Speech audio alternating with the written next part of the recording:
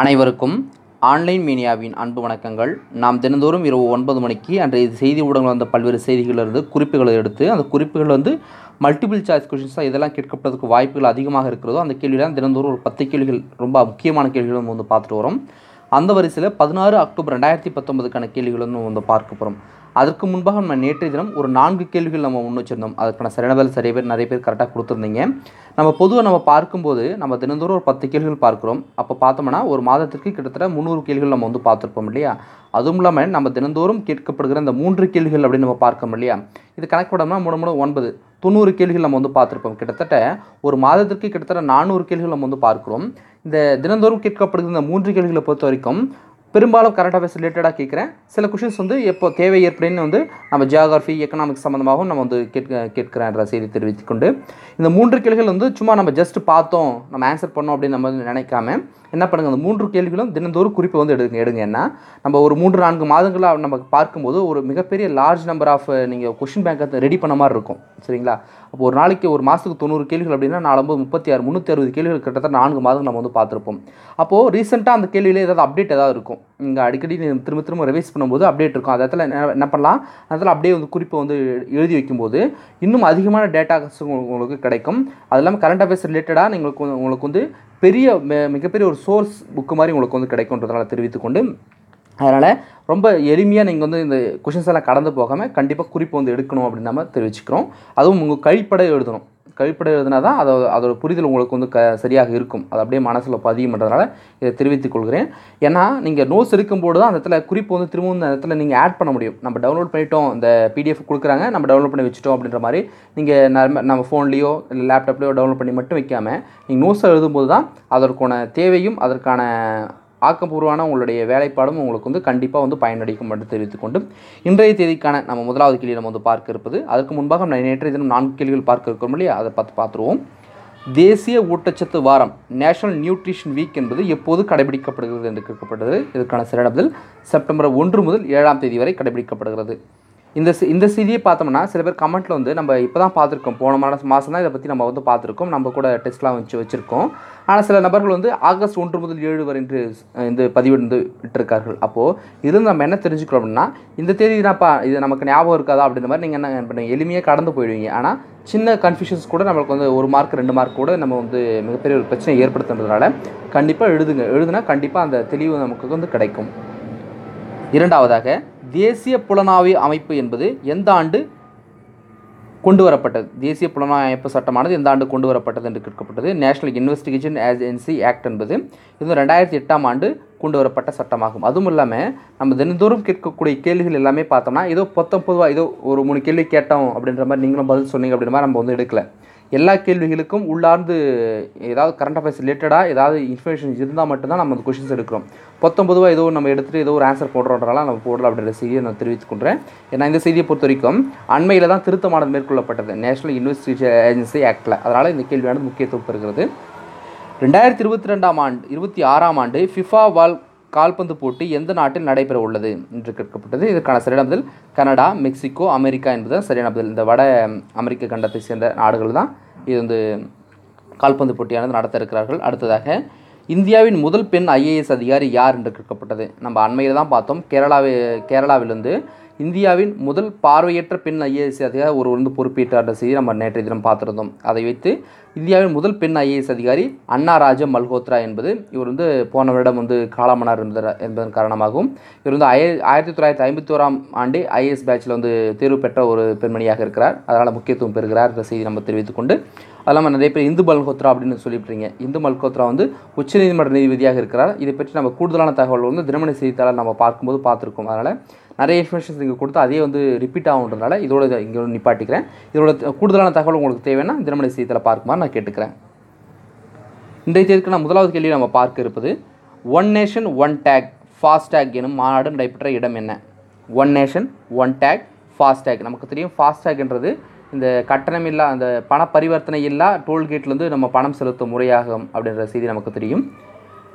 இது நாக்பூர் புதுடெல்லி மும்பை நொய்டா. நாக்பூர் புதுடெல்லி மும்பை நொய்டா. இந்த மாநாடானது புதுடெல்லியில் நடைபெற்றது. விளக்கம். Conference on one nation one tag FASTag Aadhaar for vehicle என்னும் பெயரிலான மாநாட்டினை நிதின் கட்கரி அவர்கள் தொடங்கி வைத்தார். ஃபாஸ்டேக் ஆனது ஆர்எஃப்ஐடி தொழில்நுட்பத்தில் செயல்படக்கூடியது. ரேடியோ ஃப்ரீக்குவன்சி ஐடென்டிஃபிகேஷன் தொழில்நுட்பத்திலாம் செயல்படக்கூடிய ஒரு ஃபாஸ்டேக் என்பது தெரியும் உங்களுக்கு. அது இல்லாமல் ஆதார் ஃபார் வெஹிக்கிள் என்ற டேக் சொல்லப்பட்டிருக்கு.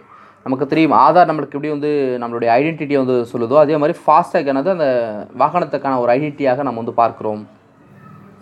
ஏன்னா இந்த ஃபாஸ்டேக் வாங்கும்போதே உங்களுடைய ஆர்சி புக்கு உங்களுடைய ஃபோட்டோ உங்களோட ஆதார் கார்டு அந்த மாதிரிலாம் கொடுத்து தான் நீங்கள் அந்த ஃபாஸ்டேக் வந்து வாங்குவீங்க காரணமாக இந்த ஃபாஸ்டேக் என்பது இன்னொருத்தர் வந்து பயன்படுத்த முடியாதுன்றது செய்தி தெரியும் உங்களுக்கு. ரெண்டாயிரத்தி பத்தொன்பதாம் ஆண்டிற்கான புக்கர் பரிசு யாருக்கு அறி அறிவிக்கப்பட்டுள்ளது ரெண்டாயிரத்தி பத்தொன்பதாம் ஆண்டிற்கான புக்கர் பரிசு யாருக்கு அறிவிக்கப்பட்டுள்ளது? இந்த புக்கர் பரிசு பற்றி நமக்கு தெரியும். ஆங்கில நாவல்களுக்கு கொடுக்கப்படுகிற ஒரு மிகப்பெரிய பரிசாக நம்ம இதை பார் பார்க்கிறோம். Margaret Atwood Bernardine Evaristo Olga Tokarczuk Olga Tokarczuk option D வந்து ஏ மற்றும் பி. அதாவது மார்கரெட் ஆட்வுட்டும் பெர்னர்டின் எவரெஸ்டோக்கும் இணைந்து வழங்கப்பட்டிருக்கிற செய்தி சொல்லப்பட்டிருக்கிறது. ரெண்டாவது கேள்விக்கான சரியான பதில் ஆப்ஷன் டி அதாவது இந்த ஆண்டு தான் நம்ம என்ன ஆயிரத்தி தொள்ளாயிரத்தி தொண்ணூற்றி ரெண்டாம் ஆண்டுக்கு பிறகு இரண்டு நபர்களுக்கு இப்போ வந்து புக்கர் பரிசு வழங்கப்படுதுன்னா அது இப்போ மட்டும்தான் வழங்கப்பட்டிருக்கு. இவங்க இரண்டு நபர்களுக்குமே இந்த பரிசானது வழங்கப்பட்டிருக்கிறது முதன் முறையாக. அடுத்ததாக விளக்கம். முன்னதாக பிரிட்டன் இந்திய நாவலாசிரியான சல்மான் ருஷ்டியின் குயிக் ஷாட் எனும் உட்பட பல நாவல்கள் பரிந்துரைக்கப்பட்டிருந்தன. நம்ம முன்னரே பார்த்துருப்போம். ஒரு மாதம் இரண்டு மாதங்களுக்கு முன்பாக நம்ம இப்போ அப்படியே இந்த கொஷின்ஸை நம்ம பார்த்துருக்கோம். சல்மான் ருஷ்டியின் எந்த நாவலானது? இந்த புக்கர் பரிசுக்கு பரிந்துரைக்கப்பட்டுள்ளது என்ற செய்தி அப்படி நம்ம பார்த்துருக்கோம். இல்லை இது மாதிரி பார்த்துருக்கோம்னு நினைக்கிறேன். குயிக் ஷாட் எனும் நாவலானது புக்கர் பரிசுக்கு பரிந்துரை பரிந்துரை செய்யப்பட்டுள்ளது. இதோட ஆசிரியர் யார் என்று கேட்கப்பட்டது. அந்த மாதிரி நம்ம வந்து பார்த்துருப்போம். இந்த ரெண்டு பேரும் உங்களுக்கு நினைவு இருக்கும்னு நினைக்கிறேன். ரெண்டாயிரத்தி பதினெட்டாம் ஆண்டில் அண்ணா பன்ஸ் என்பவர் தான் இந்த விருது வந்து பெற்றிருந்தார். இந்த புக்கு புக்கர் பரிசு வந்து பெற்றிருந்தார். அடுத்ததாக ஜப்பானில் ஏற்பட்ட ஹகிபிஸ் புயலில் பாதிப்படைந்தவர்களுக்கு உதவுவதற்காக இந்தியாவில் அனுப்பப்பட்ட கப்பல்கள் இந்தியாவால் அனுப்பப்பட்ட கப்பல்கள் அப்படின்னு பொருள் பண்ணுங்க. ஜப்பானில் வந்து ஹகிபிஸ் புயல் என்பது அண்மையில் வந்து உருவாகி மிகப்பெரிய சேதத்தை வந்து உருவாக்கி உண்டாக்கியது. அந்த புயலில் சிக்கி பா பாதிப்படைந்த மக்களுக்காக உதவுவதற்காக இந்தியாவின் சார்பில் சில கப்பல்கள் வந்து அங்கே அனுப்பப்பட்டன. அந்த கப்பல் என்ன என்று இருக்கப்பட்டிருக்கு INS Kalvari and INS Sahyadri இது ரீன்னு பொருள்பட்டுங்க. INS Sahyadri INS Chennai INS Kiltan என்று கொடுக்கப்பட்டிருக்கு. ஆப்ஷன் ஏ அனைத்தும். ஆப்ஷன் பி ஒன்று மற்றும் மூன்று. ஆப்ஷன் சி இரண்டு மற்றும் மூன்று ஆப்ஷன் டி இரண்டு மற்றும் நான்கு என்று கொடுக்கப்பட்டிருக்கு. நான் திரும்ப ஆப்ஷன்ஸை காட்டுறேன். இதற்கான சரியான பதில் ஆப்ஷன் டி இரண்டு மற்றும் நான்கு ஐஎன்எஸ் சகயாத்ரியும் ஐஎன்எஸ் கில்டன் இந்த ரெண்டு கப்பல்களானது அங்கு அனுப்பப்பட்டுள்ளன. விளக்கம் பசிபிக் பெருங்கடலில் உருவான ஹகிபிஸ் புயல் ஜப்பானில் மிகுந்த சேதத்தினை ஏற்படுத்தியுள்ளது. அடுத்ததாக கைஸ் சைட் என்பவர் எந்த நாட்டின் அதிபராக தேர்ந்தெடுக்கப்பட்டுள்ளார்? கைஸ் சைட் என்பவர் எந்த நாட்டோட அதிபராக தேர்ந்தெடுக்கப்பட்டுள்ளார்? Tunisia Bulgaria Comoros Cyprus. Tunisia Bulgaria Comoros Cyprus என்று கொடுக்கப்பட்டிருக்கு. இதற்கான சரியான பதில் துனிஷியா என்பதுதான் சரியான பதில். நம்ம பார்த்தோம்னா நம்ம கம்யூனிட்டி டேப்லேயும் இந்த கொஷின்ஸ் வந்து அப்டேட் செய்யப்படுகிறது. அதுலேயும் நிறைய பேர் பார்த்தோம்னா இந்த கோமரோஸ் என்ற நாட்டை தான் குறிப்பிட்டிருக்காங்க. அதே மாதிரி நம்ம ஆன்லைன் மீனியாவோட டெலகிராம் சேனல்லையும் இந்த கேள்வியானது நம்ம தினந்தோறும் போட்டுட்டு வரோம் இல்லையா? அதுலேயும் நிறைய பேர் என்ன பண்ணுங்கன்னா அந்த கோமரோஸ் என்ற நாட்டோட பற்றி தான் பேசியிருக்காங்க. இப்போ பார்த்தோம்னா செய்தித்தாளில் என்ன நாடுகள் வந்து அதி அடிக்கடி வருகிறதோ அதை ஒட்டி அந்த மாணவர்கள் என்ன பண்ணுறாங்கன்னா அந்த நாடாக தான் இருக்கும் அப்படின்ற மாதிரி நம்ம என்ன பண்ணுறாங்க கிளிக் பண்ணுறாங்க இப்போ கோமரோஸ் பார்த்தோம்னா நம்ம நேற்றைய தினம் பார்த்துட்டோம். துணை குடியரசுத் தலைவர் வந்து அங்கே பயணத்தை வந்து மேற்கொண்டிருக்கார். கோமராஸ் நாட்டில் மிக உயரிய ஒரு பதக்கமானது வந்து துணை குடியரசுத் தலைவரான வெங்கைய நாடுக்கு வழங்கப்பட்டதன் செய்தி நம்ம பார்த்துருந்தோம். அதன் அடிப்படையில் பார்க்கும்போது இந்த நாட்டை வந்து அந்த கேள்விப்பட்டதன் காரணமாக என்ன பண்ணுறாங்க நிறைய பேர்? இந்த நாடை தான்ப்பா இருக்கும்ன்ற மாதிரி அவங்களே வந்து யூகிச்சு வந்து போடுறாங்க. அதனால் அந்த மாதிரிலாம் போடலைன்னா தவறு வைப்பதற்கும் வாய்ப்புகள் அதிகமாக இருக்கிறதுனால இது வந்து யோசித்து போடணும். விளக்கம். வடக்கு ஆப்பிரிக்க நாடான இது மத்திய தரைக்கடல் பகுதியில் அமைந்துள்ளது. வடக்கு ஆப்பிரிக்க நாடு என்று சொல்லப்பட்டிருக்கு. இது மத்திய தரைக்கடல் பகுதி அமைந்துள்ளது என்று சொல்லப்பட்டிருக்கு. நம்ம என்ன பண்ணுவோம்? ஒரு முறை அந்த அட்லஸ் எடுத்து நம்ம அந்த நாடு எங்கே இருக்குன்றத லைட்டாக வந்து பார்த்து வச்சுப்போம் ஏன்னா பிற்காலத்தில் எப்போ அது உதவுன்றதுனால. இந்த துனிஷியா என்ற நகரமான இந்த நாடானது இங்கு இருக்கிறது. மத்திய மத்திய தரைக்கடல் அப்படின்னு நமக்கு தெரியும். மத்திய தரைக்கடல் பகுதியில் அமையப்பட்டுள்ளது. இப்போ பார்த்தோம்னா இது ஃபுல்லாகவே ஆப்பிரிக்கா கண்டம் இல்லையா? இந்த ஆப்பிரிக்க கண்டத்தில் வடக்கு பகுதியில் தான் இந்த நாடானது அமையப்பட்டுள்ளது செய்தி நம்ம இப்போ தான் பார்த்துருந்தோம். அதை தெரிஞ்சுக்கங்க. இட்டாலிக்கு கீழ்ப்பக்கமாக இந்த நாடானது அமையப்பட்டுள்ளது. இந்த சகாரா பாலைவனம் இதெல்லாம் வந்து அந்த இடத்துல இருக்குன்ற செய்தி நமக்கு தெரியும். இந்த சகாரா பாலைவனம் இங்கே எல்லாமே இருக்கும் இல்லையா? நீங்கள் பார்த்துருப்பீங்க ஜியாகிரஃபி மேப்பில் அடுத்ததாக ஐந்தாவது கேள்வி. கூற்று ஒன்று அப்துல் கலாம் அவர்களின் பிறந்த நாள் உலக மாணவர்கள் தினமாக கொண்டாடப்படுகிறது. கூற்று இரண்டு அப்துல் கலாம் அவர்களுக்கு ஆயிரத்தி தொள்ளாயிரத்தி தொண்ணூற்றி ஏழில் பாரத ரத்னா விருதானது வழங்கப்பட்டது. அப்துல் கலாமோட பிறந்தநாள் உலக மாணவர்கள் தினமாக கடைபிடிக்கப்படுகிறது. இரண்டாவதாக ஆயிரத்தி தொள்ளாயிரத்தி தொண்ணூற்றி ஏழிலேயே அப்துல் கலாம் அவர்களுக்கு பாரத ரத்னா விருதானது வழங்கப்பட்டது என்று கொடுக்கப்பட்டிருக்கு ஒன்று மட்டும் சரி இரண்டு மட்டும் சரி இரண்டும் சரி இரண்டும் தவறு என்று கொடுக்கப்பட்டிருக்கு. இந்த செய்தியை பொறுத்திருக்கும் இரண்டு செய்திகளுமே சரியானது. ஆயிரத்தி தொள்ளாயிரத்தி தொண்ணூற்றி ஏழு தான் அப்துல் கலாம் அவர்களுக்கு பாரத ரத்னா விருதானது வழங்கப்பட்டது. நமக்கு தெரியும். நாட்டின் மிக உயரிய விருது பாரத ரத்னா விருது என்ற செய்தி நமக்கு தெரியும். விளக்கம். அப்துல் கலாம் ஆயிரத்தி தொள்ளாயிரத்தி முப்பத்தி ஒன்று அக்டோபர் பதினைந்தில் ராமேஸ்வரத்தில் பிறந்தார். அடுத்ததாக.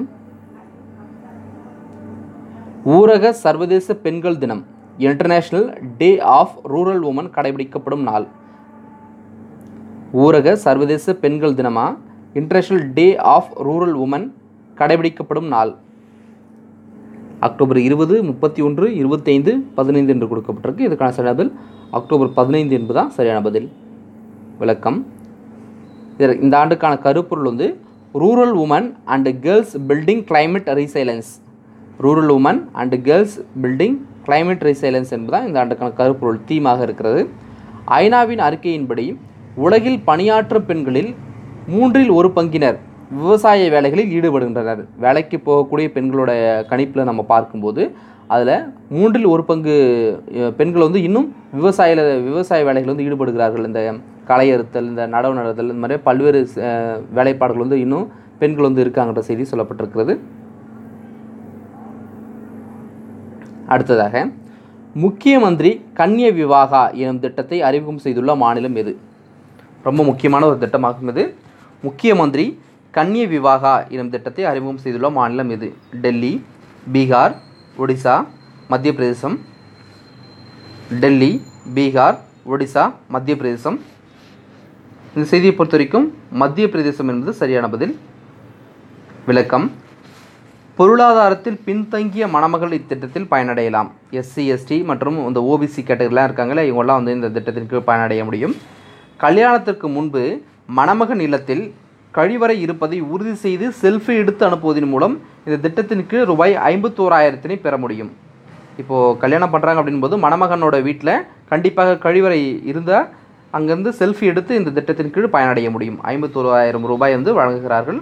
அனைத்து வீடுகளிலும் கழிவறை இருப்பதை இந்த திட்டமானது உறுதி செய்கிறது. இந்த மாதிரிலாம் நம்ம வந்து பண்ணும்போது மறைமுகமாக இந்த மாதிரியான திட்டங்களை இது ஊக்குவிக்க ஊப்பி ஊக்குவிக்கக்கூடிய சில திட்டங்களை கொண்டு வரும்போது இந்த கழிவறை சம்பந்தமாக இந்த ஸ்வச் பாரத் திட்டத்தை நம்ம இப்போ முன்னாடி பேசியிருக்கோம். கிட்டத்தட்ட பதினோரு கோடி கழிப்பறைகள் வந்து கட்டப்பட்டிருக்கின கிட்டத்தட்ட ஐந்து ஆண்டுகள் என்று சொல்லப்பட்டது. அப்போது இந்த மாதிரியான திட்டங்களை நம்ம வந்து கொண்டு வரும்போது நமக்கு தெரியும் இந்த அண்மையில் கூட இந்த மாதிரி ஒரு படமானது வந்தது. அந்த ஜோக்கர் அப்படின்னு ஒரு படம். நம்ம இந்த அரசாங்கம் வந்து டாய்லெட் கட்டுவாங்க அது வந்து இடிஞ்சிரும்ன்ற மாதிரி செய்திலாம் நம்ம அந்த படத்தை வந்து பார்த்துருப்பீங்க. இந்த கழிவறை என்பது எந்த அளவுக்கு முக்கியத்துவம் பெரு பெற்றிருக்கின்ற செய்தி நம்ம இதிலிருந்து பார்க்கிறோம். அடுத்ததாக ஒய்எஸ்ஆர் ரயத்து பரோஷா பிஎம் கிசான் யோஜனா எனும் திட்டத்தின் மூலம் ஆந்திர விவசாயிகள் ஆண்டிற்கு எவ்வளவு உதவித்தொகையினை பெற முடியும்? ஒய்எஸ்ஆர் ரயத்து பரோஷா பிஎம் கிசான் யோஜனா எனும் திட்டத்தின் மூலம் ஆந்திர விவசாயிகள் ஆண்டிற்கு எவ்வளவு உதவித்தொகையினை பெற முடியும் என்று கேட்கப்பட்டிருக்கு. நமக்கு தெரியும் இப்போது ஒய்எஸ்ஆர் அப்படின்ற பேர் வந்திருந்தால் கண்டிப்பாக நீங்கள் என்ன யூகிக்க முடியும்? இது ஆந்திரா மாநிலத்தை சேர்ந்த ஒரு திட்டமாகும் என்று சொல்ல முடியும். அது இல்லாமல் இந்த ரயத்து அப்படின்ற வார்த்தை வந்து விவசாயிகளுக்கானது என்ற செய்தியை நம்ம வந்து பார்க்க முடியும். ஏன்னா ரயத்து பந்து அப்படின்னு வந்து ஒரு திட்டமானது எங்கே இருக்கிறது? நம்ம பார்த்துருக்கோம். தெலுங்கானா மாநிலத்தில் இருக்கிற ரயத்து பந்து என்ற ஒரு திட்டமானது. அப்போ எனக்கு ரயத்து பரோஷா என்ற பேரில் தான் இந்த திட்டமானது கொண்டு வரப்பட்டிருக்குது. இந்த திட்டத்திற்கு பத்தாயிரம் ரூபாய் வந்து பெற முடியும் விவசாயிகள் பதினைந்து ம- ரூபாய் இருபதாயிரம் ரூபாய் பதிமூன்றாயிரத்தி ஐநூறு ரூபாய் என்று கொடுக்கப்பட்டிருக்கு. இதற்கான சரியான பதில் பதிமூன்றாயிரத்தி ஐநூறு ரூபாய் வந்து பெற முடியும். இதோட விளக்கம் என்னென்னா நமக்கு தெரியும் பிஎம் கிசான் அப்படின்னு ஒரு திட்டமானது இருக்குது இந்த கிசான் திட்டத்தின்படி வ- வருடத்திற்கு ஆறாயிரம் ரூபாய் உதவித்தொகையாக விவசாயிகளுக்கு வந்து வழங்கப்படுது. மொத்தம் மூன்று தவணைகளாக இந்த ரூபாய் வந்து வழங்கப்படும். ரெண்டாயிரம் ரெண்டாயிரம் ரெண்டாயிரம்ன்ட்டு அண்மையில் கூட நம்ம தினமணி செய்தித்தாளை பார்க்கும்போது கரண்ட இரண்டு தவணைகள் ஓரளவுக்கு எல்லா விவசாயிகளுக்கும் கொடுக்கப்பட்டது. ஆனால் மூன்றாவது தவணை என்ன பண்ணியிருக்காங்க? அந்த அளவுக்கு கொடுக்கல. அதுவும் இல்லாமல் எலெக்ஷன்ஸ் முன்னாடி போடப்பட்ட முதல் தவணை இருக்கு இல்லையா? அந்த முதல் தவணை பெரும் பார்த்தீங்கன்னா பெரும்பாலான விவசாயிகளுக்கு கிரெடிட் செய்யப்பட்டது. ஏன்னா எலெக்ஷன்ஸ் வந்த டைம்ன்றதுனால அதுக்கப்புறம் பார்த்தோம்னா அது வந்து சரியாக வந்து இன்னும் போல விவசாயிகளுக்குன்றது நம்ம வந்து செய்தியை பார்த்துருந்தோம். இப்போ இந்த திட்டத்தின் மூலம் நம்ம ஆறாயிரம் ரூபா தராங்க இல்லையா மத்திய அரசு? இதோடு சேர்த்து இந்த மாநில அரசு ஆந்திர மாநில அரசு வந்து ஏழாயிரத்தி ஐநூறுரூவா இங்கே வந்து போட்டு மொத்தம் பதிமூன்றாயிரத்தி ஐநூறுரூவாவே மூன்று தவணைகளாக விவசாயிகளுக்கு வந்து வழங்குகிறாள் என்று இந்த திட்டமானது தெரிவிக்கிறது. அடுத்ததாக எந்த நாட்டு விமானப்படையுடன் இணைந்து இந்திய விமானப்படை சின்யூ மைத்ரி எனும் கூட்டு பயிற்சியில் ஈடுபட உள்ளது. எந்த நாட்டு விமானப்படையுடன் இணைந்து இந்திய விமானப்படை சின்யூ மைத்ரி எனும் கூட்டுப் பயிற்சியில் ஈடுபட உள்ளது என்று கேட்கப்பட்டிருக்கு. China Japan Philippines Laos. China Japan Philippines Laos. இந்த பேரை பார்த்தா ஓரளவுக்கு நம்ம சீனாவோ இல்லை ஜப்பானோன்னு சொல்ல முடியும். ஏன்னா இந்த சின்யூ அப்படின்ற மாதிரி இந்த பேர்லாம் வந்துருக்கு இல்லையா? இப்போ நம்ம சீனாவோ இல்லை ஜப்பானோ இது ரெண்டுத்தில் ஏதாவது ஒன்று இருக்கும் அப்படின்னு நம்ம வந்து யூகிக்க முடியும். இதுக்கான சரியான பதில் ஜப்பான் என்பது. விளக்கம். இப்பயிற்சியானது மேற்கு வங்க மாநிலத்தில் அக்டோபர் பதினேழு முதல் இருபத்தி மூன்றாம் தேதி வரை நடைபெற உள்ளது. நாளை தினத்திலிருந்து இந்த பயிற்சியான தொடங்கப்பட இருக்கிற இந்த செய்தி வந்து சொல்லப்பட்டிருக்கிறது. அடுத்ததாக உலக பொருளாதார கண்ணோட்டம் வேர்ல்டு எக்கனாமிக் அவுட்லுக் எனும் அறிக்கையினை வெளியிடும் அமைப்பு. ரொம்ப முக்கியமான ஒரு அறிக்கை இது. உலக பொருளாதார கண்ணோட்டம் வேர்ல்டு எக்கனாமிக் அவுட்லுக் எனும் அறிக்கையினை வெளியிடும் அமைப்பு என்ன? உலக வங்கி சர்வதேச நாணய நிதியம் ஆசிய வளர்ச்சி வங்கி உலக வர்த்தக அமைப்பு. World Bank International Monetary Fund Asian Development Bank World Trade Organisation இந்த செய்தியை பொறுத்த வரைக்கும் ஐஎம்எஃப் தான் இந்த அறிக்கையானது வெளியிடுகிறது. இது வந்து வந்து ப்ரிடிக்ட் பண்ணுது எந்த அளவுக்கு எக்கனாமி வந்து மேம்பாடு அடையும் எந்த எந்தெந்த நாட்டில் அப்படின்ற மாதிரி ப்ரிடிக்ட் பண்ணுறாங்க அது இல்லாமல் நம்ம நேற்றைய தினம் தான் பார்த்துருந்தோம். உலக வங்கியானது நம்மளோட இந்திய பொருளாதாரமானது ஆறு சதவீதம் என்ற அளவில் தான் இந்த வளர்ச்சியானது இருக்கும். ஜிடிபி க்ரோத் வந்து இருக்கும் என்று கணிக்க கணிக்கப்பட்டுள்ளது செய்தி நம்ம நேற்றைய தினம் பார்த்துருந்தோம். இந்த அவுட்லுக்கு இந்த எக்கனாமிக் அவுட்லுக்கு வந்து ரொம்ப முக்கியமான ஒரு செய்தி. விளக்கம். வருடத்திற்கு இரண்டு முறை அதாவது ஏப்ரல் மாதங்களிலும் அக்டோபர் மாதத்திலும் இந்த அறிக்கையானது வெளியிடப்படும். இப்போ வந்து அக்டோபர் மாதம் இல்லையா? இப்போ வந்து வெளியிட்டிருக்காங்க அந்த அறிக்கையை வந்து. அதனால் இது முக்கியத்துவம் பெறுகிறது. இன்றைய தேதிக்கான ஒரு மூன்று கேள்விகள் நம்ம வந்து பார்ப்போம். பிரதான் மந்திரி ஃபாசல் பீமா யோஜனா பிரதான் மந்திரி பயிர் காப்பீடு திட்டமானது எந்த ஆண்டு கொண்டு வரப்பட்டது? இரண்டாவதாக தேசிய பாதுகாப்பு படை சட்டமானது எந்த ஆண்டு கொண்டு வரப்பட்டது? நமக்கு இப்போ தான் தெரியும். இந்த இந்த படையானது ஆயிரத்தி தொள்ளாயிரத்தி எண்பத்தி நான்காம் ஆண்டு அதாவது ப்ளூ ஸ்டார் ஆப்ரேஷன் தெரியும் இல்லையா? இதற்கு அடுத்தபடியாக இந்த அமைப்பு படையானது உருவாக்கம் செய்யப்பட்டிருக்கும். ஆனால் நம்ம மெ- கே என்ன கேட்டிருக்கோம்? சட்டம் எப்போது கொண்டு வரப்பட்டிருக்குன்னு கேட்கப்பட்டிருக்கு. அப்போ இதை வந்து சரியான பதில் வந்து கொடுங்க. அடுத்ததாக ரெண்டாயிரத்தி இருபத்தி நான்காம் ஆண்டு கோடைகால ஒலிம்பிக் போட்டிகள் எங்கு நடைபெற உள்ளன? சம்மர் ஒலிம்பிக் போட்டியானது எங்கு நடைபெற உள்ளது ரெண்டாயிரத்தி இருபத்தி நான்காம் ஆண்டு கேட்கப்பட்டிருக்கு. இதுதான் இன்றைய தேதிக்கான இந்த பதினாறு அக்டோபர் ரெண்டாயிரத்தி பத்தொம்பதாம் தேதியில் ரொம்ப முக்கியமான கேள்விகள் நம்ம வந்து எடுத்து நம்ம வந்து பைன் பண்ணி நம்ம வந்து போட்டிருக்கோம். இந்த பிடிஎஃப் வந்து கீழே டிஸ்கிரிப்ஷனில் கொடுக்கப்பட்டிருக்கு. வேணுன்றவங்க அதை டவுன்லோட் பண்ணி பயனடைய மாதிரி கேட்டுக்கிறேன். அதுவும் இல்லாமல் நம்ம டெலகிராம் குரூப்லேயும் இதோட விளக்கத்தோட பிடிஎஃப் ஆனது அப்லோட் செய்யப்படும்ன்ற செய்தியை தெரிவித்துக் கொண்டு இதோட விளக்கமான செய்திகள் நீங்கள் இன்னும் பார்க்கணும்னு விருப்பப்பட்டீங்கன்னா தினமணி செய்தித்தாளை நம்ம தினந்தோறும் ஒரு அரை மணி நேரம் வந்து பேசுகிறோம் அந்த வீடியோ எல்லாரும் பார்க்குமாறு கேட்டுக்கொண்டு மீண்டும் நாளை இரவு ஏழு முப்பது வரைக்கும் தினமணி செய்தித்தாளோடு சந்திப்போம். நன்றி வணக்கம்.